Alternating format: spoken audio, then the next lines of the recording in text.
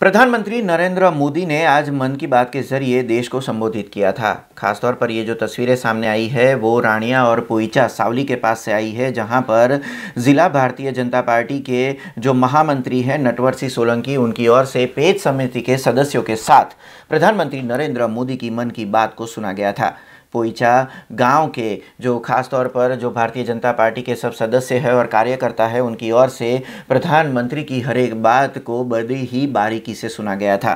साथ ही में नटवर सिंह सोलंकी ने इस मन की बात सुनने के बाद मीडिया से रूबरू होते हुए कहा कि मन की बात को सुनने के बाद जो रानिया और पोईचा के आम आदमी पार्टी का एक बड़ा नाम जो माना जाता है, हिमांशु भाई ने भी भारतीय जनता पार्टी की विचारधारा से जुड़ने की बात कही है ऐसी बात नटवर सिंह सोलंकी की ओर से प्रधानमंत्री नरेंद्र मोदी की मन की बात कार्यक्रम सुनने के बाद मीडिया से रूबरू होते हुए ये बात की जानकारी दी गई थी આજ રોજ મન કી બાતનો કાર્યક્રમ જે મોદી સાહેબ દર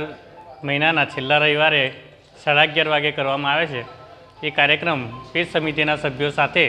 પોઈચા ગામમાં આજરોજ કરવામાં આવ્યો અને તેમાં પોઈચાના દરેક કાર્યકરો ઉપસ્થિત રહ્યા અને આ કાર્યક્રમ કરવામાં આવ્યો તે બદલ દરેકનો હું આભાર માનું છું अब खबरों से लगातार अपडेट रहना हुआ आसान बीआरजी न्यूज आपके मोबाइल स्क्रीन पर आज ही बीआरजी न्यूज की mobile app Google Play store और ऐप स्टोर से डाउनलोड करें और खबरों से लगातार जुड़े रहें